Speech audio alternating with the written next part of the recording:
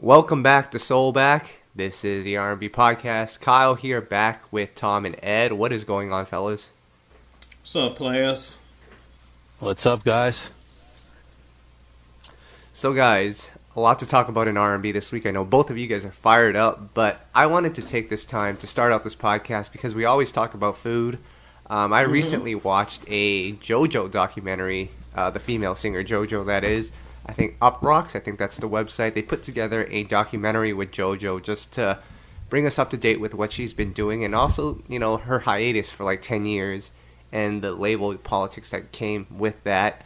Um, one of the parts of the interview that I thought was really interesting was that the label, uh, Blackground, made her go on a 500 calorie per day diet to get her weight to a certain amount because they felt she needed to be at a certain weight in order to put out the album for her image and stuff. So I went on Google and I started searching up 500 calorie per day diets, and I don't know if you guys can do it, guys. 500 calories a day is absolutely ridiculous. You're supposed to eat 2,000. If you're like dieting, maybe 1,500 or like something like that.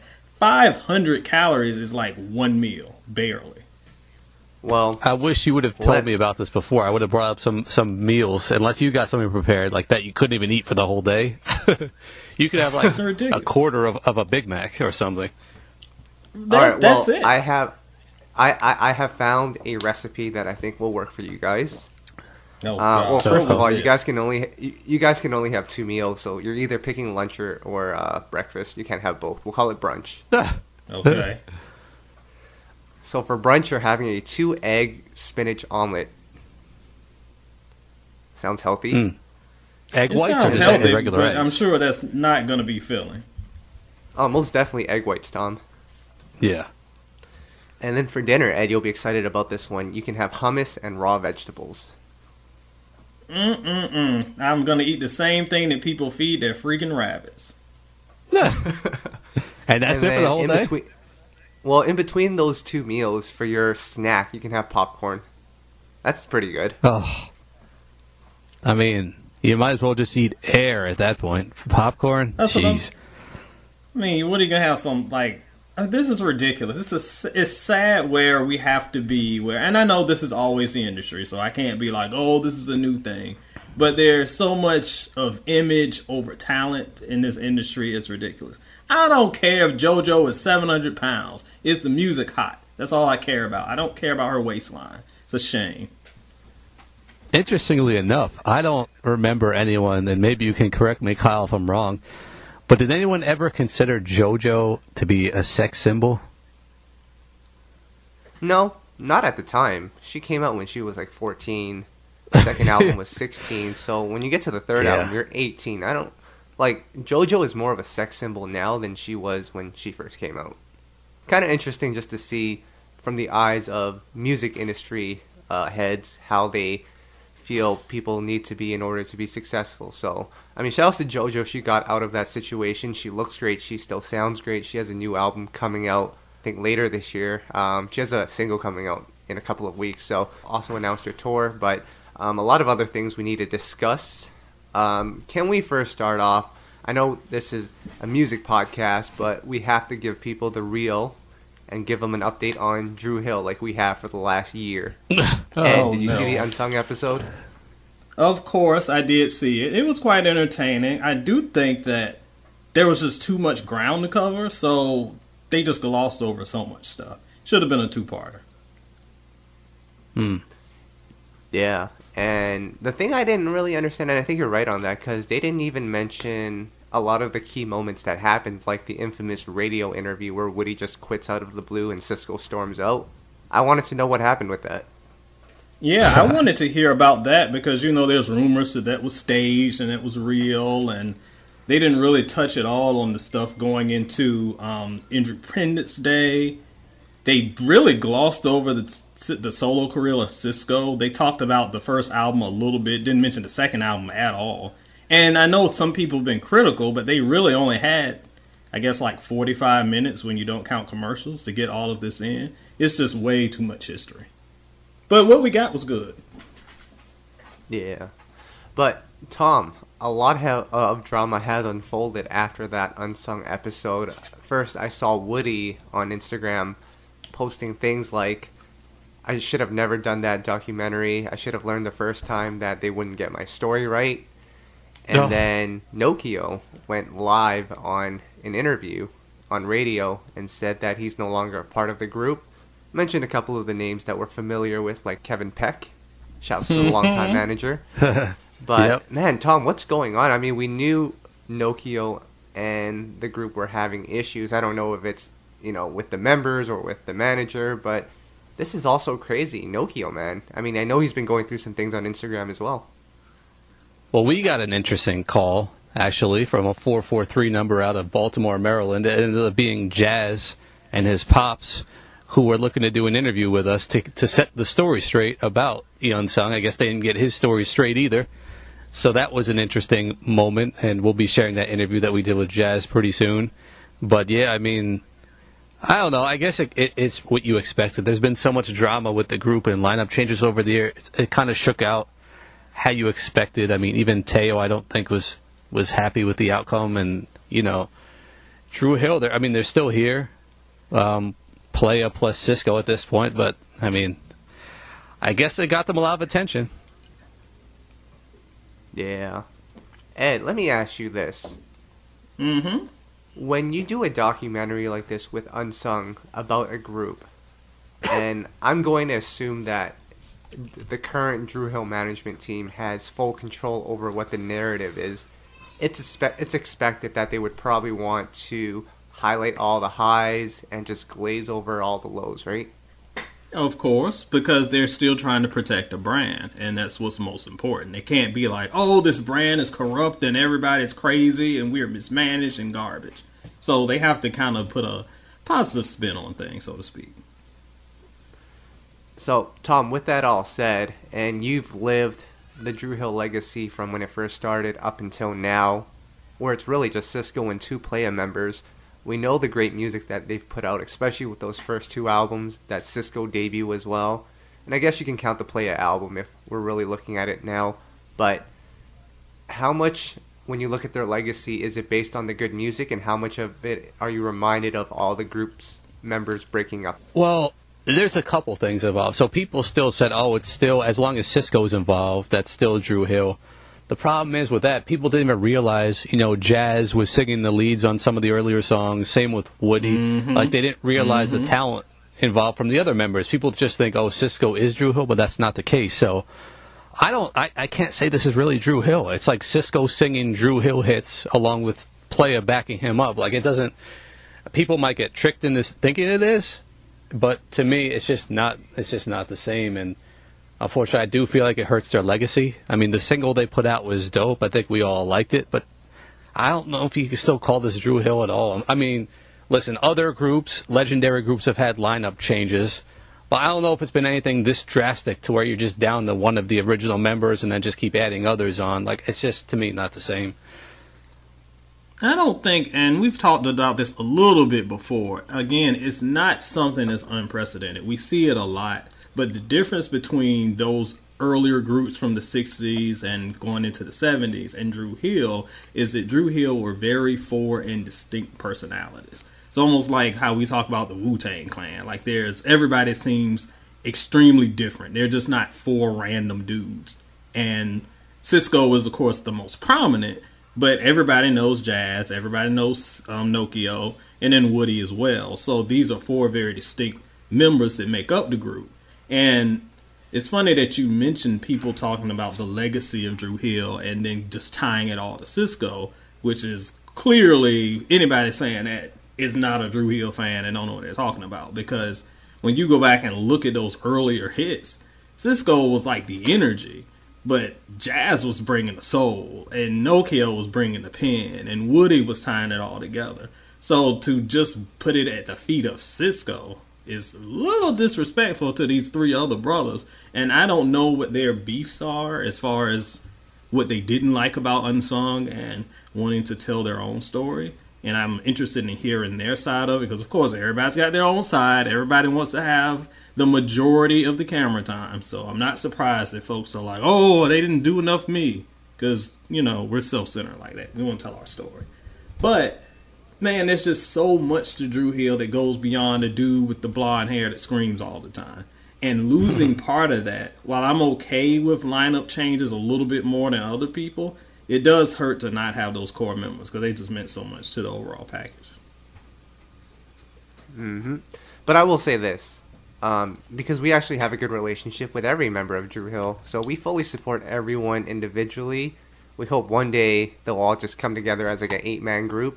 That's what Nokio wants. He says in order for him to join the group again, it has to be all, all eight of them. And uh, can you imagine if all eight of them are on stage doing the Tell Me dance? They might bump into each other. it Aw, might be an earthquake from Baltimore. I mean, I'd love that thought though, because that just having all of them together and think about the individual talents. Because even S- Skola and Tail, like these aren't bums. These dudes can sing in their own right. And of course, my boys from Playa extremely underrated. So all of them together are a formidable package. I would love to see it happen. There's more to Dru Hill than Sisqo, y'all. Anybody that says that is getting the back of my hand because that annoys me.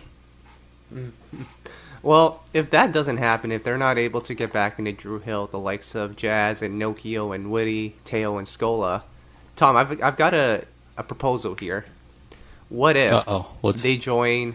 Have you seen Mariah Carey's Instagram where she's singing like backstage in her uh, dressing room? She's, she's singing like a cappella songs with her backup singers. No. It's actually Yeah, so cool. what You she- need to check it out. Okay. Yeah, so she's been singing like B cuts or unreleased songs with her backup singers just for the fans, for them to go nuts over. Recently, she sang uh, "Slipping Away," so we can have Jazz and them sing background for her. That'd be kind of cool. No. Oh my god.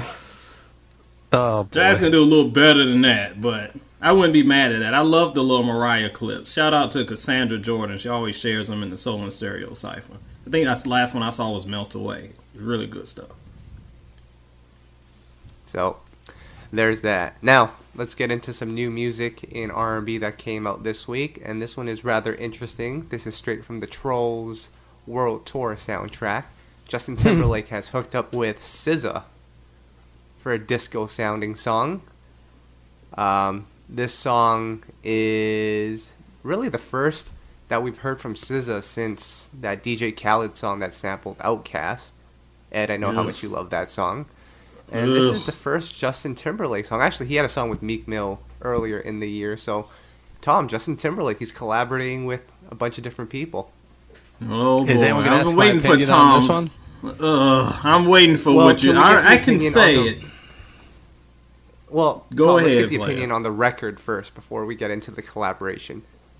I mean, the record's fine. It's like that other Trolls dancey song he did. It's not for me. I mean, it is what it is, you know. But was hmm, let me think of a good name I could come up with from Justin Timberlake's era.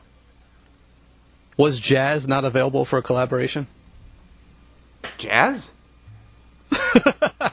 He came out the same. He was from the same era. Jazz? Did you really just say that Justin Timberlake should do a song with Jazz? Could you My imagine? God. I can imagine. I don't want to. I mean, Now, yes, that'd be it would something be to see.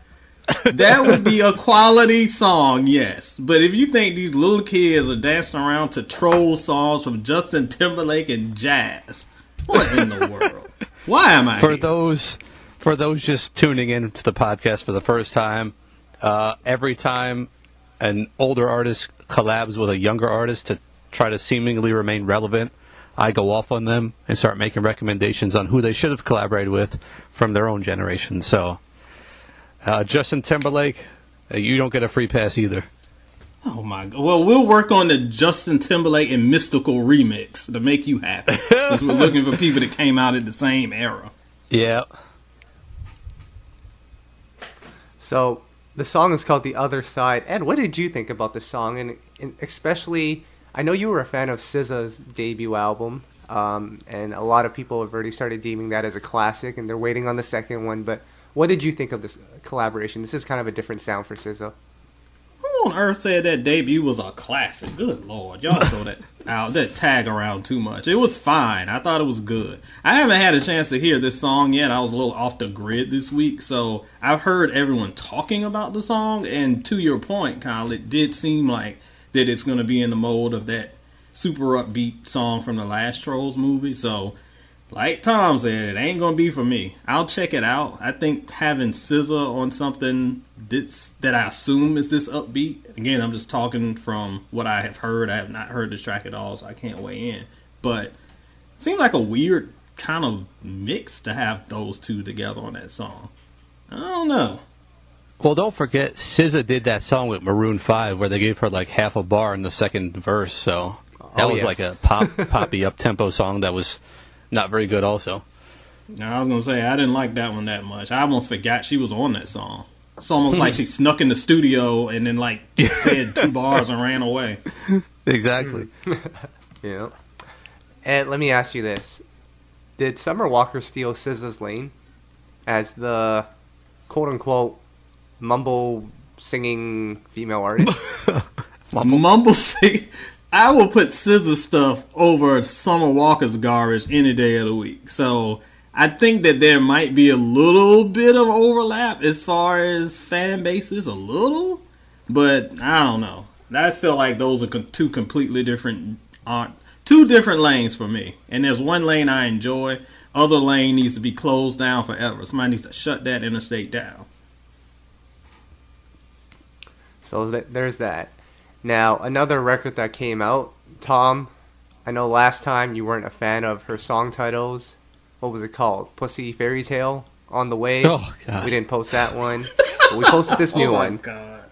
This one is called Ho, Happiness Over Everything, featuring Hold on. How did- and How did that make it onto the website? Could someone explain that? I was intentionally not going to post that one either. I'll, you better talk to Kyle about that because I'm sure he has something to do with that. Listen, anytime Miguel is on a record, we have to post it. We love Miguel. Now, this song is actually a remake of an old song that Jhene made called Ho as well. That one featured Gucci Mane. This one fe- uh, features Future. Miguel was on both. And I feel like it's cool. It's a cool record. And her new album, Chilombo, is set to come out early next month. Her next album. And from what you've heard so far, Ed, what are your thoughts? I know you've had a couple of thoughts about some of those early records. One sounded like a cult ritual anthem, but what are your thoughts here? Well, again, I haven't heard this new one, but I hope it's better than that cult hypnosis stuff that she was dropping earlier. It sounds like some stuff that they play while they get you to drink bleach and slit your wrists. Oh, horrible. but Oh, I, a lot of these songs, player, they just. I know that she has a very rabid fan base that thinks that everything that she does is just like hotness, and she oh she speaks to me so much, but a lot of it just feels like so gratuitous and not for because she's trying to tell a story, but almost for shock value. Like why you gotta call the song "Ho"? Like what? What's the point? I don't. It feels like just a way to like get some buzz, get some initial stuff trending. Oh, Ho is trending on Twitter. I gotta click on this, and it's just weird to me. I know that it's part of a marketing strategy in 2020 where we do the most depraved things to get attention, but it's just unnecessary. She's not a bad artist at all. As we were talking earlier this week on Facebook, I think that she has talent, but a lot of her songs to me are just okay. Like nothing ever gets over the hump to great. Everything's just alright. And a lot of these little parlor tricks that she does doesn't really help her case with me. Hmm. yeah. Well, I was gonna say, Let me Ed, share like I don't think I don't Go think ahead. Jhene has a bad album, so I think this one will probably be fine as well. Yeah, And she I doesn't have a great like one to either.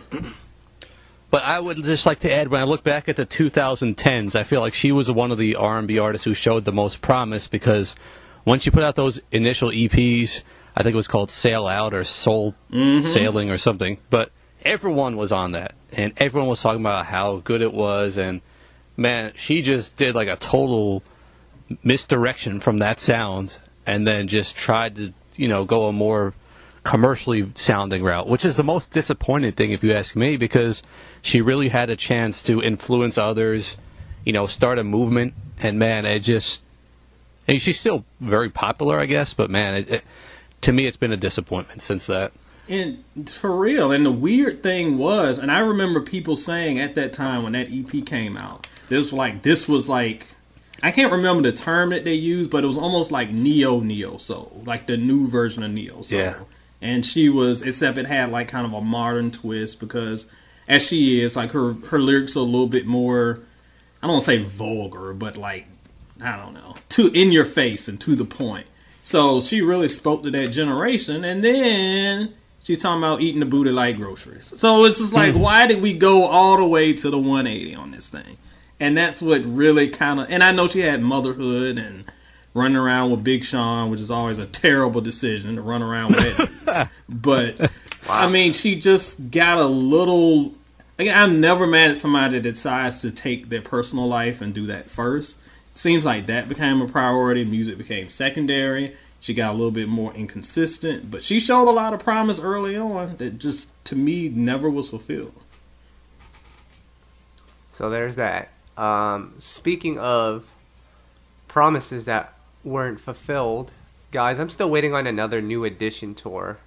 Not a BBD Oh. tour, not a. And So, don't forget uh, Heads of State. Heads of State Yes, was heads of state too. That's Yep. correct. Yep. And it doesn't look like there's going to be a new edition tour coming anytime soon because Johnny and Ralph are set to release a joint record together. Tom, can you fill us in? Well, let's clarify. Initially, I thought the press release. Well, the press release did state that. Digging a little further, I got called from the label just to clarify. They signed on to do a joint single at first, hmm. and which will be on Ralph's album on the, on this label. Johnny is still promoting his Game Changer 2. He's not signed on with a new label to do a new album. So um, Ralph Tresvant has a new album coming out, and Johnny Gill will be featured on the first single. So that's coming. I think they said in the spring. So watch out for that. Are people in demand for a new Ralph album? I, I feel like no one ever asked for a Ralph, Ralph album. is always a weird, and I can speak because I saw this like kind of Well, transition in his. it's been 15 career years since his last one. Um, It's kind of in my weird opinion, in based that on the excitement we saw on when we posted this, I'd say I'd say yes.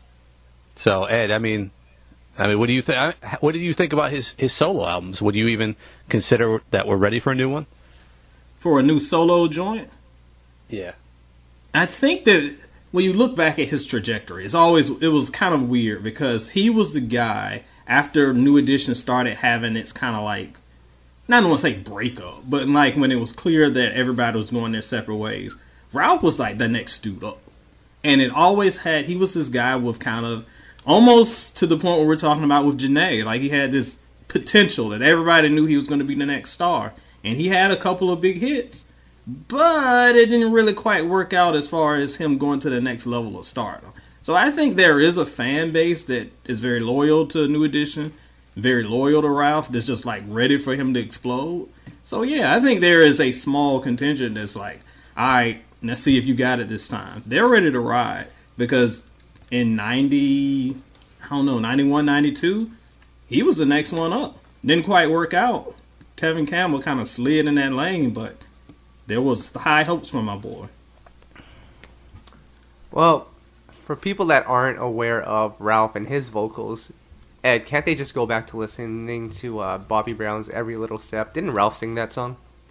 Oh God, gosh, don't get started on this again. That's that's an internet rumor that has been- been going on for a long, long time. For Uh, decades. Shout out to my boy Derek Dunn, because if he hears it, he hits the roof and he asks receipts and he'll tell you, well, that's a lie. And I'd be like, calm down, brother. I didn't say I did it. I'm just telling you. Uh, but Tom, more news from SRG, the label that is putting the single out. Sean Stockman is set to return finally. He's got his new long-awaited single coming out uh, on Friday. So, and then he, I think he's going to be announcing his album is finally coming, his long-awaited solo album. So, well, that you know, people have been waiting a while because he's been teasing it, you know, on his social media for months, maybe even years now. So, Years at we'll have this to see. yeah, so it'll be interesting to see what that sounds like. And hopefully, and just a little birdie told me we may just have the exclusive on that single. So stay tuned. No, that's what's up. Because this uh, talk about Ralph, talk about Jhene, another brother with less like unlimited potential that just never quite manifested as a solo career. Sean was another one. We just knew was gonna hit that next level and be big solo, but it just never really materialized. So I'm kind of interested and a little excited about seeing how these veterans come back in 2020 to kind of. We saw Stokely a few years ago finally mm. give us that solo album, and it was incredible. So it's always cool to kind of see. We had those what ifs in the 90s, and now we're kind of seeing these artists kind of fulfill those fantasies we had back then. I'm for it. Well, Kyle, I would like to make a declaration right now. Yes. I think every single R&B artist should boycott putting out a new album or new music until Tevin Campbell releases something new. Who's with me on that? Um, we, need a, we might be waiting for a we while. We need a guys. Tevin Campbell. We need a Tevin Campbell album, guys. Come on.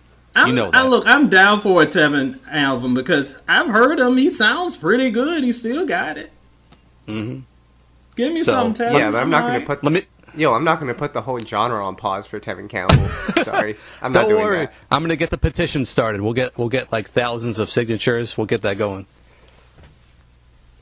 Well, yeah, oh, the genre's already halfway on pause as it is, so we ain't missing much. Let Tevin do it. yeah, but can you imagine if Tevin Campbell comes back and there's like a T Pain record, a Quavo record, and a Future record? You guys are gonna regret oh. that never that, that ever came out.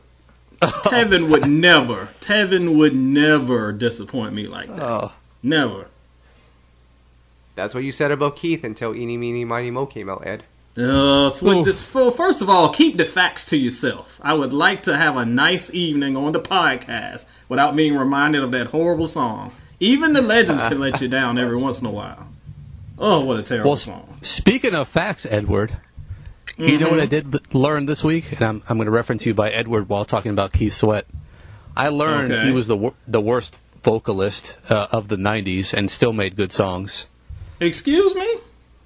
It was tweeted to us. It must have been true. Oh, someone on the internet had a garbage opinion. never, I have never heard this before. Tell me more, player.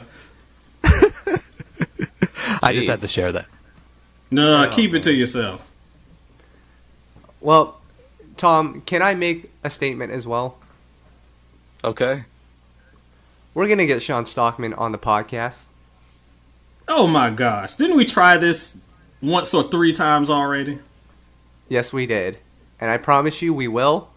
If not, Tom and Ed will have to do the 500 calorie per day challenge. Oh, jeez. Well, I'm already 155 get... pounds. still not good enough for Blackground.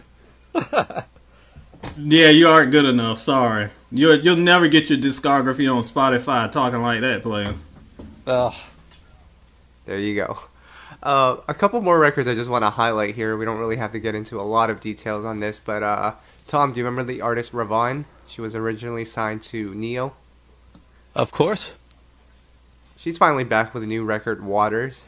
Thought it was a really dope record really liked her. Really liked her music. Remember that joint with Wale? I thought that was really good. Better be good. Don't forget the Essence oh. Festival where in the in the convention center where they played her song on repeat. Remember that, Kyle? About a hundred times in a row. Yeah, so I think she was doing like a uh, a speech or something at the Essence Convention Center. A speech, and that's what, was it a speech? I don't know what it was. Signing. An interview. Autograph I guess signing. it was an interview. it was an autograph signing, um, and then they played her song "Best Friend," which is actually a really good song, but they played it like a hundred yeah. times straight. I don't care what yeah. songs are going on, you can't play it a hundred times straight. Absolutely not. I, I remember. I can't remember if it was Tom or Kyle. One of you told me that story, and I thought it was the most hilarious thing ever. And whenever she pops up, because she randomly popped up on Nas's album last year, and she was doing some background vocals. And every time I see her name, I think about her telling her poor little autograph session. She's sitting at her autograph session My best friend is on repeat endlessly. I don't know why yeah. I have this image in my head, but I blame you two for that. and then Tom Jade Novah dropped a new album. I know you're a fan of Jade. She's actually pretty dope, and she's got a movement going on on her own. I didn't realize she had a, a celebrity following online, but we'll get the uh, the album on the site. She's actually um, one most people don't know. Ed, do you know about her? Mm-hmm, I know about her. I did not know she had a new project out this week, though.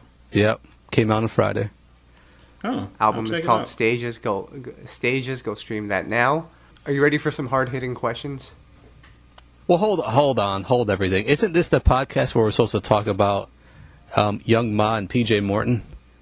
Those are the hard hitting questions, Tom. You're spoiling it for Okay, people. good. I've been waiting for 30 minutes, Kyle. Let's get it going.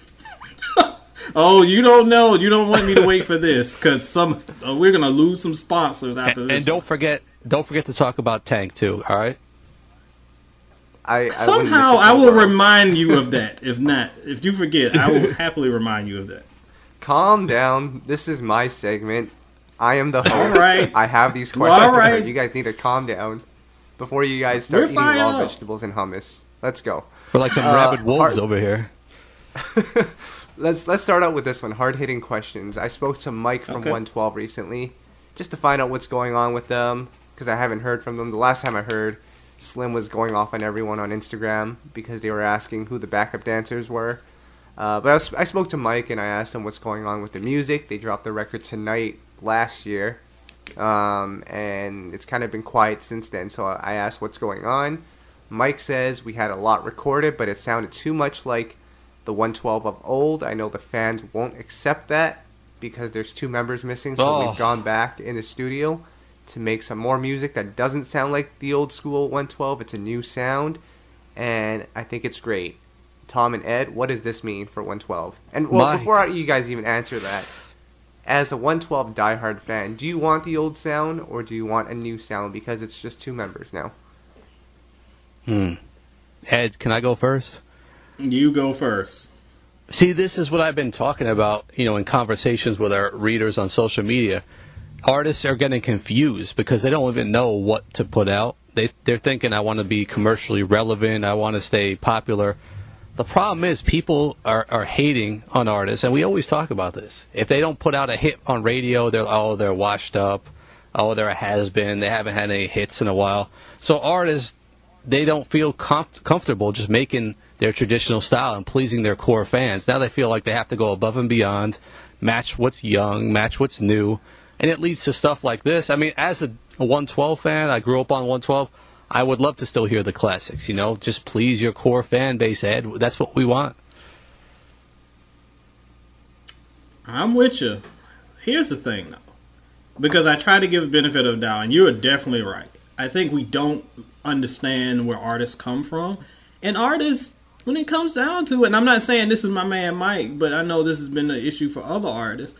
A lot of times we we as fans, especially if you're listening to this podcast, if you're listening to this podcast, you're beyond the normal fan. Like you're informed, you're intelligent Yes. Yeah. most fans, uh, well, most artists only know what they know. So all they know is their bubble. So they are gonna do what worked for them in 1996, in 2000, and 98. Whenever they had all those hits, they're gonna follow that same formula because it worked before. And when it doesn't work, they're like, "Well, I need to do what everybody else is doing," and then they follow that formula, realizing that you're 20 years out of that circle and then it doesn't quite work. So you've got artists, to Tom's point, struggling with being who they are versus being current. To be fair, as a big, giant, huge 112 stand myself, I want a mix. I want. I don't want one twelve ninety six because I already got the album. I'll go listen to that. I don't want that all over. But I don't want 112 sounding like Gucci Mane and these other weirdos. I want a happy medium. I want something that sounds like an evolution of a sound. That's the tricky part for artists to be able to catch their core sound and not come off as stale, but also evolve with the times. So if Yep. Mike's saying that he put out an album and it sounds too much like old 112, the 112 fan in me is like, oh man, I want to hear that. But then, do I really want to? Because am I going to hear it and it sounds like watered down knockoff 112? Or do I want something that sounds similar that moves forward? I think at the end of the day, that's what I really want, even though mm-hmm. nostalgia tells me I want straight up old stuff. I see where they're coming from, and it's not an easy kind of line to balance on. Yeah, I agree, Ed. I mean, Well, lem- Kyle, there's producers Yeah. out there making a progressive sound that would fit. You know, like I love what Kaytranada's doing. It's electronic, but it, you know it has some more traditional elements. Like there's producers they could link up with to make them not sound trendy, but pro, you know progressive sound. So, Kyle, I mean, what are your thoughts on the whole thing? I mean, like Ed said, this is a very tough spot for 112 to be in. You just really hope that the music, if it is trendy, that it's at least good. You know, that it at least is quality. I felt like their record that they put out last year tonight, it wasn't necessarily a bad record. I mean, it was a little trendy, and it did make me realize that 112 without Duran and Q, there is a difference there, but Mm-hmm. You know, it's tough. Like I want to hear the ballads. Their last album had some of that. I wouldn't say it was my favorite 112 album, but it sort of still had those elements. Had a little bit of trendiness, but nothing that was crazy. Um, right. It, it's a tough one because then I think back to like when New Edition split and BBD went to do their own thing. Ed, is there anyone out there that likes New Edition but didn't like Bell Biv DeVoe's album? Um, kind of me. Well, please elaborate. But I know I. But I know I'm in the minority. I mean, I, I can recognize that BBD is great. It's just I prefer old school new edition. But your point still stands. I see what you're saying. So, it, it's it's an interesting place for them to be in because they're going to use BBD as the example and say, well, they ventured off, created their own sound, and they were just as successful, and people liked it. But instances like those, that's that's that's tough. I, I don't know if 112 can pull it off, but Mike and Slim, they're both great guys, so I'm hoping the best for them. Yeah, and to that BBD point, the other thing that helped them is that they totally rebranded. So you're looking at what New Edition was in the late 80s and what BBD was in the early 90s. It's kind of like a whole different sound. These it went from kind of like the the almost I don't want to say choir boys, but they had on the suits and they were like trying to sweet talk the girls. Then they went to the players in the early '90s, like all about the girls and partying. So it was a drastically different sound. If they weren't calling themselves New Edition, if 112, if this version of 112 wants to evolve and they call themselves, I don't know, Mike and Q, I mean Mike and Slim instead of 112, and then had a drastically different sound, they wouldn't be as tied to 112 as they were calling themselves 112. So that was part of the evolution of BBD as well. They totally rebranded. Not sure that's what they're trying to do since they're keeping the 112 flag waving pretty high here, but it's a tricky proposition for them either way. Hmm. So when we're talking about brands, I just got into an argument with our boy Todd Davis on Twitter about this. Tom, you'll be excited about this one. Um, he feels like the Husel which is Musiq Soulchild's persona, that project that he put out should be a knock against the Musiq Soulchild legacy. Do you feel that way as well? Because Musiq did purposely say that he rebranded so that people wouldn't, you know, look at the two as one, but, you know, that's what people are doing anyway because the face, the image is very similar. Yeah, people never really understood that whole thing. Um, I think he was smart I mean, you guys could disagree, and he's explained to us on more than a number of occasions what he was trying to do. He was trying to flex his own creativity and um, try to do it under a different brand. So if you weren't there for that type of music, you didn't have to intertwine it with music. But a lot of people didn't get that, and um, you know, he hasn't really done much with those brands in a while. So he's kind of left that in the past. It seems.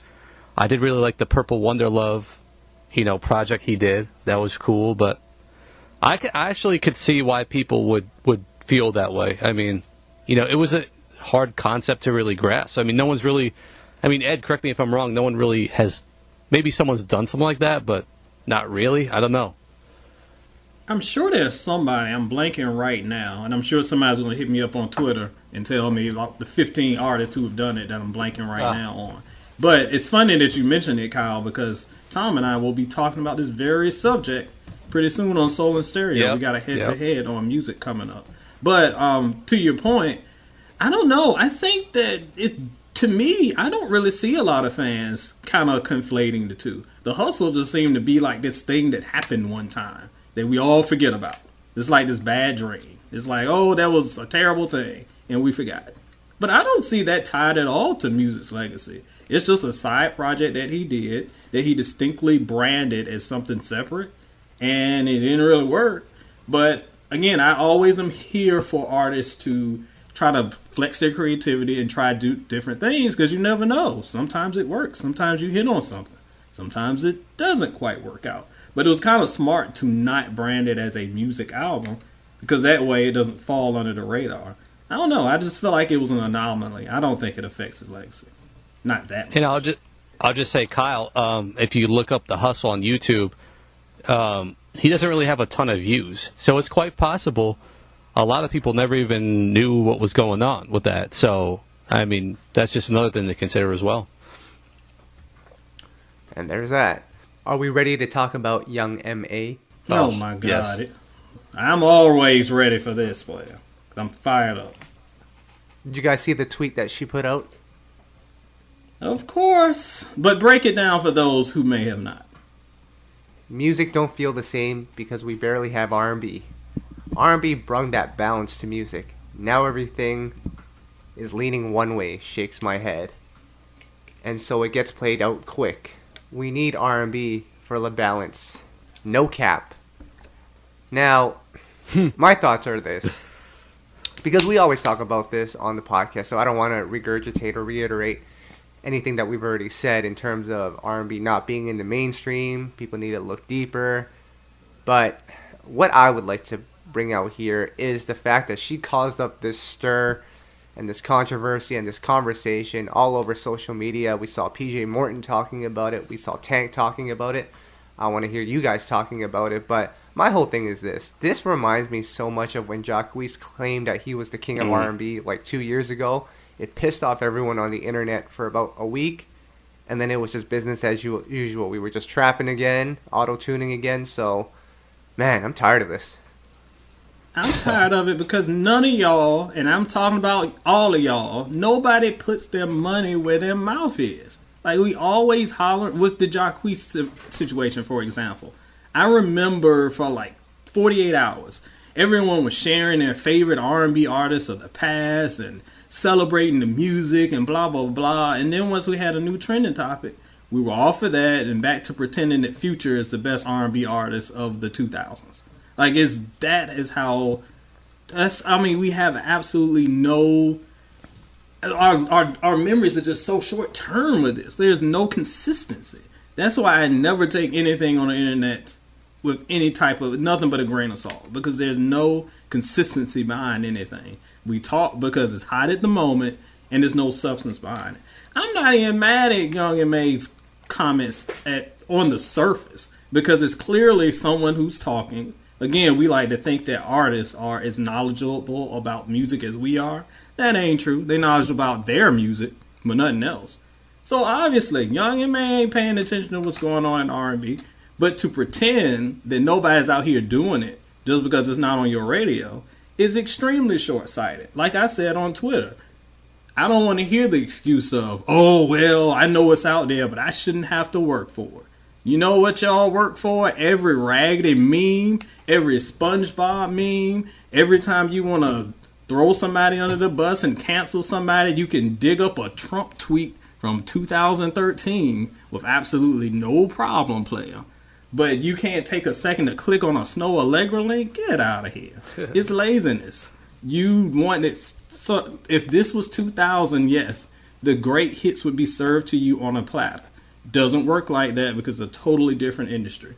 But to discount all of the artists out here that are doing great, great things and saying, well, I don't see it because you ain't looking, how disrespectful is that? And I know I'm preaching to the choir because everybody here knows the good music. You know where to find it. You just go to either Soul and Stereo or You Know I Got Soul. It's right there for you. So there's no excuse. But for the normal person just to be like, well, I just wanted it, you didn't have to do that in 1991. Well, there's a lot of things you didn't have to do in 1991. You got to do now. So that's life. Get over it. Stop hmm. disrespecting the artists that are doing great work out here. Hmm. Tom, I'm going to throw a couple of names for you guys. Uh, but Tom, I want to start off. PJ Morton replied to that tweet, listed out some of his favorite singers, and you replied to it, and you stirred up some stuff there. Listen, I was so happy that PJ Morton finally spoke up. I've been begging for him to become more of a vocal ambassador of R&B, especially as someone who's had some of the best music we've heard in years. Um, hard, one of the hardest working. Keeps putting out albums. You know, has won Grammys for his work. I've been begging for him to speak up, and he did, and I was excited to see that until I saw him list names of artists who he felt were doing good music. Now, I have nothing wrong with the names he listed, guys, but PJ, man, I'm sorry, but you failed, and I called you out on it because I had to. I mean, you. It looks like this was either a, a sponsored list of artists, you know, from major labels who paid you to post their names, because you didn't name any '90s artists besides Rashawn Rahsaan Patterson. I mean, come on. Where are all the other great '90s artists who are still making great music? PJ, do you not? So the point he was trying to make was you're just not looking for it. You're just not trying to find it. It's still out there. The good music. Well, I don't even know if he's looking for it himself or trying to find it. That's the way I, you know I was left with reading this. I'm I'm mad, guys. Well, I didn't see the list in full. I saw his comment, and I know he tagged like 50 million people, and I saw Summer Walker and then stopped reading. So I don't know who was or was not tagged. But the I will give him this benefit. I don't know if it was true because again, I we have not talked to him, and maybe this is it. I wondered if because PJ is a very like PJ knows stuff. He is very informative when it comes to music. So maybe he was just naming artists who had put out stuff recently, like in the past twelve months, and maybe that's why Rahsaan got the shout out and uh, Tamia didn't. I don't know, but I'm trying to give him the benefit of the doubt No. there, and maybe that's why. But again, I ain't see the full list, so maybe It's not- that was definitely he was not just it. short sighted. I mean, I, I'll reiterate. He didn't name necessarily bad artists. Like they're all pretty good who he named. It's just that there was Summer a lot Walker, more. excuse me. I mean, I mean Eric Bellinger was on the list, which was kind of odd. Six Slack, Brent Faiyaz. I mean, it, it got kind of weird. Tink, out of all people, was on this list. I mean, and, Wait, Tom. You know, Tom. Yeah. Did Kevin Ross make the list? No, Kevin Ross is not Oh, on there. That's Tank sad made the list, and which which to me, come on, PJ, how you gonna name Tank? I mean, that that to me, and we have this love hate relationship with Tank, but that to me loses all credibility for this list when you name Tank for the music he's currently making. Tank doesn't make sense at all when you're t- thinking about because he is he is the antithesis of what this post was about. So it doesn't make sense that he was named either. I don't know. I can't speak for him. I, am glad that he spoke up as to what you said because he's a young artist that has the ear of listeners and he's out here winning Grammys and excelling at his craft and his music's good. I again I didn't see the list so I can't nitpick, but I am giving him props for at least speaking up. He gets that much love at least. Kyle, you know what's you know what's funny about this list? He didn't even name Yep. JoJo, and that's who helped him win his Grammy recently. That's Really? pretty funny to me. That's weird. well, Yep. that's sad. I'm just But- saying it, it's it's kind of that's why I called him out for this list. I mean, come on, Yeah, I don't know. just just make the post. Just don't make a list. Like if he just had made the post and, and said you're not looking for it, it's out there. That's fine. You don't need to list like random friends of yours to make it. Lo- you know, it just didn't make sense to me. And you may have hit it right there. He may was just shouting out his friends. It could have been just that deep. And that's what he Hey, was man, trying to put on.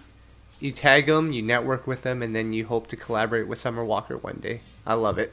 Oh, God. Uh, well, t- Tom, you uh, you said the magic word earlier, so I guess we'll have to go Tank. there. I know. Uh, uh, calm down. is, And is I know Tank we have a magic lot. No. Oh, okay. I know we have a Sorry. lot to talk about after this topic, so we don't want to spend too much time on it. But I know you guys are fired up for this one, and I'll just start off by saying yes, the keyword is tank, and I have a completely different view on this than you guys do. As you are aware, I am extremely ecstatic that the general has returned to R&B. The man who gave us Sex, Love, and Pain is back. He's bringing it back to the basics. He announced it on his Instagram page. And guys, I'm ready. I'm ready for more Please Don't Goes. Maybe I Deserves. You're my star.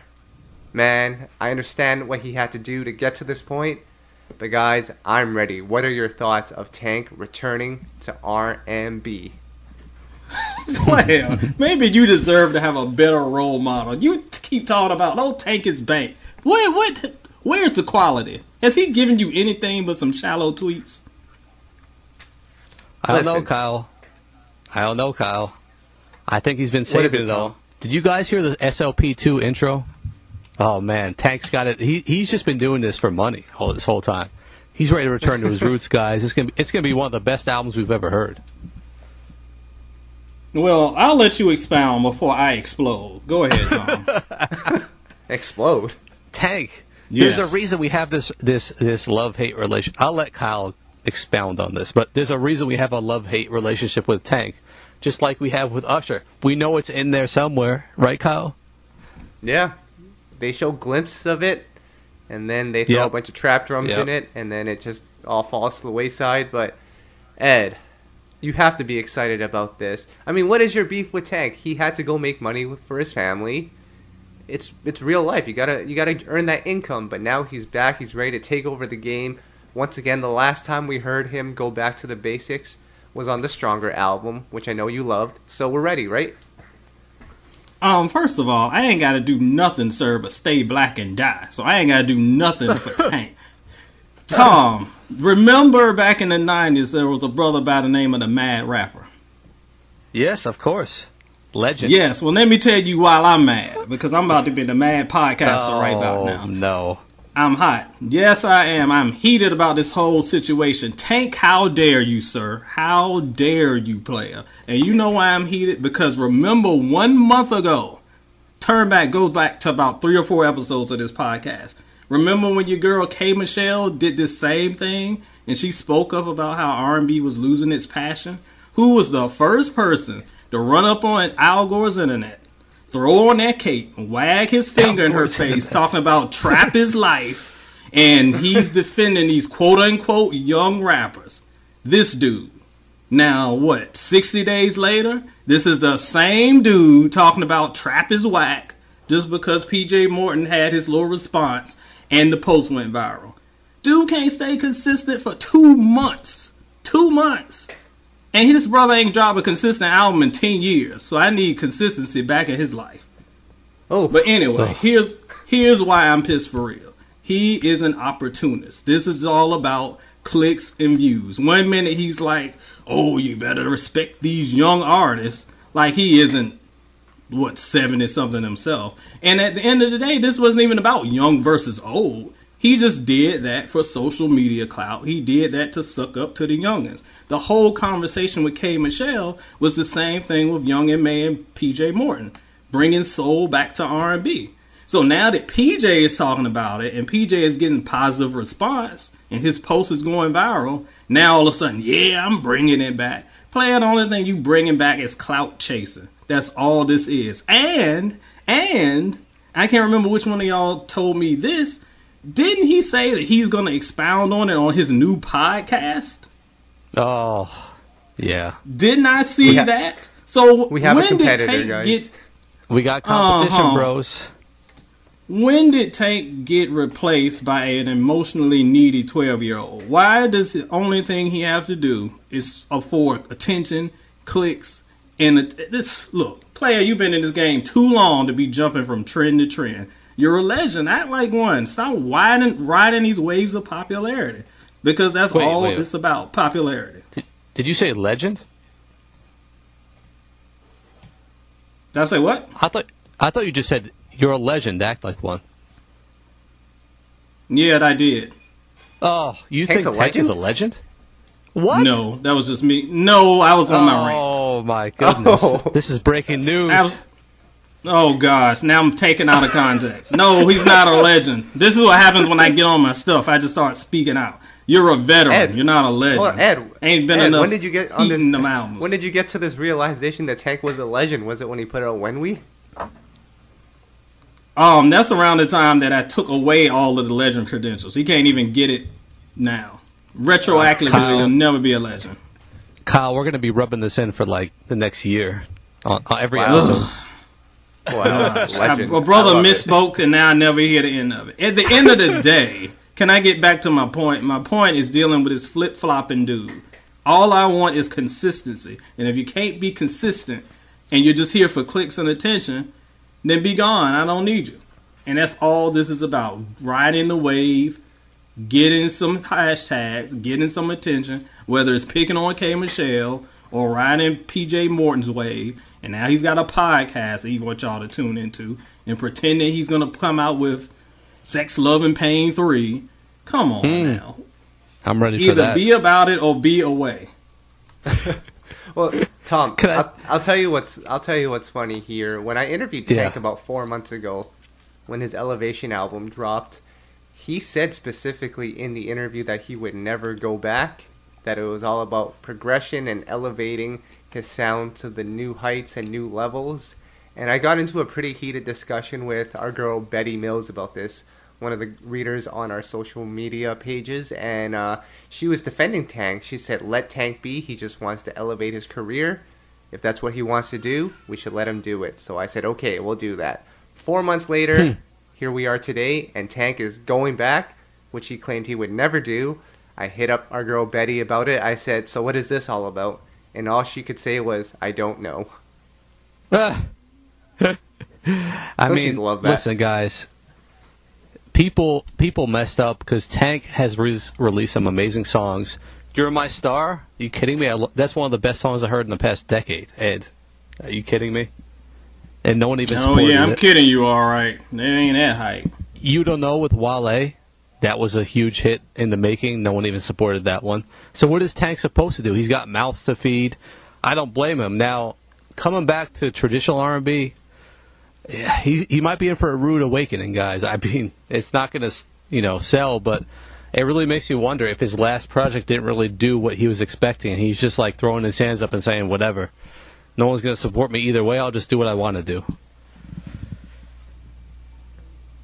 Yeah, I can't be believe you two are actually buying into this dude's mess. This was two months ago. He was talking about, I'll never go back. I'm trapped for life. Now, No. because the, the convo has changed, now it's like, oh, okay. Now I want to get back on it. You want to get back on it because you're three albums in the hole. All of them were garbage. The only thing you had was a little hotness off of When We. legend. Listen, the, the label told him to say that, guys. Right, Kyle? Yes, I, I guess he. Yeah, I mean, on his on his post, he said he admitted that he quote unquote sold out, but now it's time to get back to real music. So Ed, the first step to changing your habits is acknowledgement, and he's admitted that he sold out there. So we got to give him a pass for that. Absolutely not. Y'all still giving them passes off of albums that came out in 2006. I ain't doing it. I need to see some content. And when was the last great Tank song? Sex, Love, and Pain 2 intro? Come on now. That was a great song, guys. That's like two two albums worth of forgiveness. If you put out that one That's- song, we could. Tom, that song is older than your son. Get over Oh. it. It's not happening. Oh, Wow. So, new Tank album expected probably this year or maybe next year. And a new Tank podcast set to come out this year or next year as well, featuring Jay Valentine. So, that should be fun. Uh, I'm I sure I won't be invited as a guest on that one. Probably not. but we've got one more hard hitting question for you guys here. Uh, All right. Diddy is set to do Making the Band. And when all of this conversation was going down, Diddy, the man that brought us people like 112, Faith Evans, Total, had a huge part in the early parts of Mary J. Blige, Jodeci. Can't forget about Day 26. Debut was still fire. But Puff said, "I got to bring R&B back. We're gonna do that with this Kyle, making the band. We're gonna have whatever one the female whatever the question is, whatever the question is, the answer is no. Calm down. one female group and one male group. Guys, can Puff bring R&B back with these two groups? No, Again, it's the same thing with Tank. I don't. Everybody was all. Where was this energy before? Everybody's on this energy all of a sudden in the past month, and they have had decades to bring this energy to the genre, and they were quiet as church mice. Now all of a sudden, people want to do it. You got to show and prove to me I don't want to hear about Day 26 that came out a decade ago. And then I have seen no quality R&B from you since. Or talking about dudes that came out in the 90s. Because that was 20 years ago. I need some current receipts that read a date 20 with a 1 behind it. Or a 2 behind it. Not stuff that happened before there were iPhones. Because that's what his track record is looking like. I don't believe anything until I hear it because it sounds like me, social media clout. It, it's funny, Kyle, because remember Last Train to Paris, Dirty Money. Yep. Yep. I feel like back then, and that was in 2010. We're talking almost 10 years ago. I feel like mm-hmm. back then he he he did he still had the clout to kind of go his own direction because that album, in my opinion, didn't sound like anything that was out at the time, and it was kind of it was pretty cool, you know, to hear that. But at this point yep. where Diddy's at, I don't think he can still, you know, afford to go the direction he wants and people will just follow. Like he can't just do a sound that's not popular, like traditional R and B, and it's all of a sudden going to become popular. It's not. It's not going. to... I mean, Kyle, do you agree or disagree? Guys, this is P Diddy. This is Puff Daddy. Oh, this guy is no. the influencer of influencers. So do I believe he'll be able to bring R&B back? Absolutely. He has the facilities, what? the ability, the money. He has it all. Diddy is going to bring R&B back. Now, I will question whether these artists that he's signing will actually get paid. I think that's a whole different story, and hopefully they can stay together for more than one album. But I'm telling you guys, Diddy can do it if he puts his mind to it. Puff is your guy. I'm telling you guys. Put no. his mind to it is the operative phrase. Have I seen him put his mind in anything re- recently other than whatever it is, his umbrella companies and t-shirt companies? I have not seen the commitment to music in a freaking decade, unless you count the greatness that is freaking French Montana. I don't really see his track record being that great. So absolutely not. I have a right to be skeptical whether it's him, whether it's Raggedy Tank or anybody else. Show and prove. Hmm. But wait, hold on, Tom, hold on, Ed. Is is Sean John clothing line still around? I haven't seen Sean John in forever.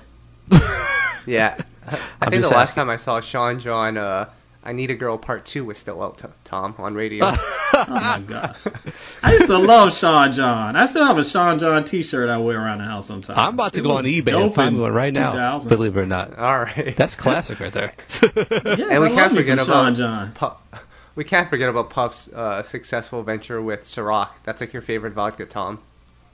Actually, it is. Believe it or not. I mean, you came so, out here to New York. You had a couple shots of Ciroc. You were never the same again, Kyle. I, I would see Puff. Puff does that to you. But speaking yeah, of making the band, explains a lot. We have a couple more hard hitting questions here. So with this making the band, Ed, do you think making the band can still work in this era? Oh, I think so. Definitely. Look at the biggest shows on TV now. The um, The Voice, and what's the show where people dress up in the Power Ranger monster costumes and like oh, you gotta guess who they are? Yes, stuff like that. Yeah. Like there's definitely a market for reality show slash music, and with the legacy that's gone behind making the band and you know puff punking these kids out and making them get cheesecake and stuff, people love drama and foolishness. So of course there's a market for it. But again, if we look at like the band, the group, the band, and even Day 26, like they never really lasted for real. They fell apart too quickly. So just because you get exposure doesn't guarantee a decade long career. So I think it'll be hmm. great for ratings.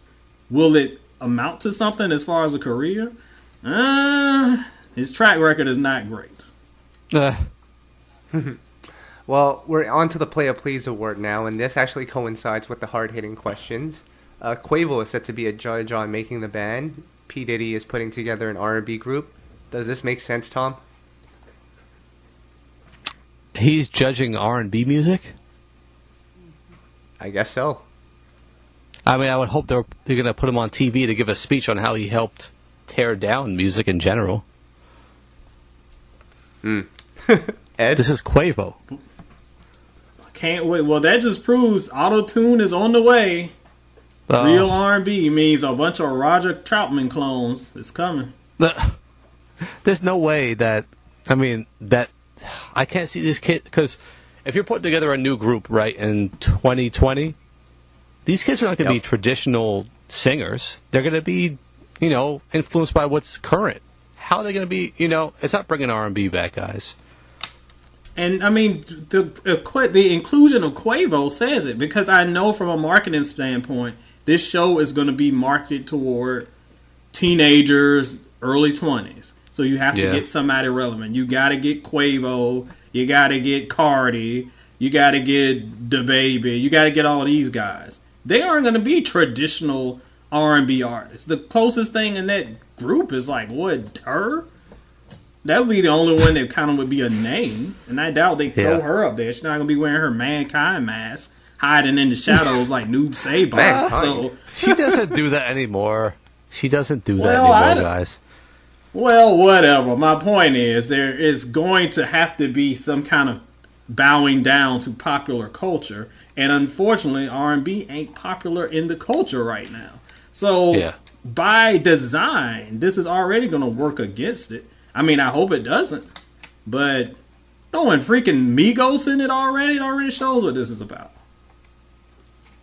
Well, some other people that are involved in this right now, I saw on the Instagram clips. I see Monica um, at the at the auditions. I saw Troy Taylor there, Dal- Dallas Austin, JD, B Cox.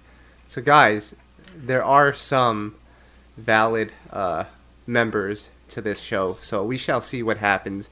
Diddy, I'm rooting for you. Get me a record on Bad Boy. Oh God! Give me some old Sean John. That's all I want. I'm on eBay, I'm and it Ben. back. You get it for cheap right here. It might come from China, I but bet. it's cheap. China. I will get some bootleg Sean John from Yeah, it's, China. it's Thanks. bootleg, Kyle. It's not. It's not legit, but that's all I got left. All right. Uh, can we get into the soul backtrack of the day here?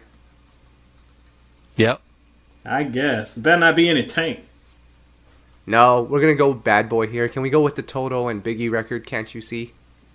Mm. We definitely can. I was just saying over on Twitter not long ago that I feel like that was one of Biggie was a master of the. I think someone asked what was the best kind of R and B feature for Biggie, and I'm like, that's got to be the best one. That man knew how to do a guest verse. Wow. Tom, Why'd you pick that one, Kyle? I remember Chris Webber being in the music video, and I was just watching clips of, Really? of Chris Webber earlier. Yeah, Chris Webber's in Chris the video. Webber. makes a cameo appearance. 1995, indeed. Huh. Chris. Shout out to Chris. Is he in the NBA Hall of Fame? No, he's not right now. I didn't think so. Oh, came up short.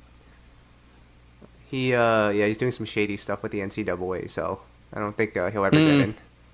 Unfortunately. Uh, uh, but speaking of which, uh, Ed, what's going on with SoulInStereo.com? Man, it's been a pretty good week, even though I've been a little bit out of the loop. Um, shout out to some of my contributors, and a lot of people who helped out while the boy was away to keep things moving and grooving. We got a new edition of Love Letters up with this. Um, let me read this question real quick because I thought that it was cut and dry, but it seems like the female perspective is a little different than the male perspective. Here's the question. So my boyfriend decided for his birthday that he would go home for his birthday weekend. We live in Georgia. So I'm assuming these people don't live in Georgia. Now it's his special day, so he can do whatever he wants. But I am in my feelings because I thought he would have at least spent one day with me in case I wanted to do something for his birthday. Am I wrong in feeling like this? This just shows me, in my opinion, where our relationship stands and my place in life. I thought Player was pretty cut and dry. You're mad because you wanted him to do something with you for his birthday. He decided to do something else, but you didn't ask. So you're mad because you wanted to play a weird guessing game and he guessed wrong. Hmm. You whack. But the female readers of the Soul In Stereo and the Soul In Stereo cipher on Facebook thought the dude was wrong and he's up to some shady stuff. So anyway, go check that post out. Very interesting response to that. As well as, of course, we've got head to head with Ed. Kind of loving this feature. Thanks to everybody who's helping out with that. My man Nick Eden came through and we're talking about Dru Hill, their best albums, their worst albums. And we answered the big question: Is Dru Hill the best male R&B group of the '90s? So go check that one out. And and to kind of wrap up Black History Month, if you follow me on Instagram, you've been seeing that every day I've kind of been featuring albums that kind of speak to the black experience. So someone suggested you need to make a playlist of that. So that's what we did. All songs from all 29 albums are compiled in one really cool playlist, and that's up on Soul In Stereo as well. So busy week for your boy. Hmm. Tom, honestly, if it were me and I didn't get invited to this birthday party, I'm just gonna stay home and play the X Men on the arcade. Remember that game? Listen, Me too. classic, I'm joining you. listen, you got to pick Colossus if you're playing X Men the arcade game. But I'm Ed. Your stories make me just happy. I'm married, man. A happily married man. Otherwise, man, it's tough out there right now.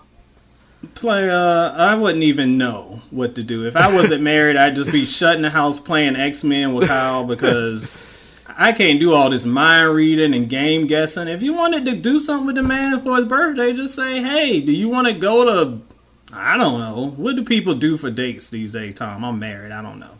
Uh, Let's go to the skating rink. Yeah, Pizza, Pizza Hut. Hut. I don't know. Let's let, us go eat greasy pizza. Why say what do you want to do? I don't know. I want to do this, and then you're mad at him because he didn't guess what you wanted him to do. Y'all weird. Ugh. Tanking Jeez. women, so weird. Oh we, man, Kyle, Well, we, we got a lot Go ahead. less drama on our site, Kyle. You're just killing it with these interviews. Why don't you talk about some of the ones you did recently? Yeah, I mean, I just interviewed B Cox uh, recently. Got that on the website, and if you got if you haven't actually listened to the audio, I actually only like transcribed half of it because the other half of it I wanted to see if people would actually listen to. But B Cox um, lists his top five favorite R and B producers, and we had a full on discussion on that, so that was kind of dope. Um, and then the cool part about that interview, of course, he talks about the new Usher album, but one of the things was uh, he worked on a record for LMA's debut album, the song Dangerous, and LMA specifically asked for a song that sounded like a Day 26 record. So, Really? guys, yeah, so even though she might not know three Aretha Franklin songs, she knows Day 26 music. She's in the R&B Hall Ed, of Fame. that's We're Ed. her. We we should never mention her again on that po- on this podcast just for that one reason itself. Yeah, I think we're gonna ban her from now on. Her and Tank are both thrown in the um. they Oh. are thrown in the recycle bin. No, Tank We- is we love- fine, but Summer Summer Walker's out, but Tank is still in. Oh, Summer Walker's always. First of all, Tank is not fine ever. But Summer Walker, throw You her called away. him a legend. I do You said legendary Tank. I think I meant to say lecherous and not legend. I got my L's mixed up while I was on my oh. rant. We don't know what that means, tell- so it's still legend. can you- so Please Oh, define God. lecturous. This is the cast of characters I got to work with. I'm gonna have to go on Tank's podcast and get a, a new show. Oh Wow. Imagine Barry Wow. Bars, you're back in. But guys, uh, along with B I interviewed Jazz recently, so we'll get that one posted. He really wanted us to hear his side of the story, so we'll get to hear that. Uh, got a couple of interviews that I'm still working on. Rich Harrison is happening. We're just trying to figure out a date. It's taking a little longer than usual, but we're gonna make that happen at some point. I think there was someone else that I'm working um, on for an interview. I'm just trying We're to working on Musiq is. Soulchild, don't forget. Musiq yeah, Soul Stokley, Child. Yes. That's who it was. Stokley. That And was who Stokley. it was.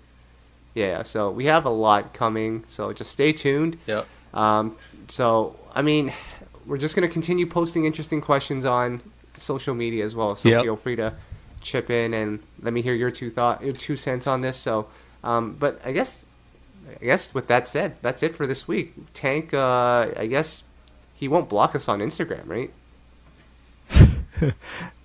Uh, no, I think we're cool. We shouted out SLP too. Come on, guys. No, Tank. Look, Tank. If you're listening and Tank's minions, don't block them. Block me. My account is Ed Bowser on Twitter and Oh, Edward. Bowser on Instagram. Block Hey. me. You can leave these brothers alone. He would never block you, dude. You called him a legend. And we never went that oh, far. Oh my! Uh, Actually, I will never live this down. when when Ed was talking, I thought he was gonna say something like, "Look, Tank, we know you're great. We just want you to put good music." But that went completely sideways. And we will never No. live this down for, for 365 days from now. Unfortunately, I know you're right. so that does it. Kyle signing out with Tom and Ed, and I'm gonna go listen to the legendary Tank. Peace out, guys. Peace. Goodbye. Goodbye. Goodbye. Goodbye. Goodbye. Goodbye.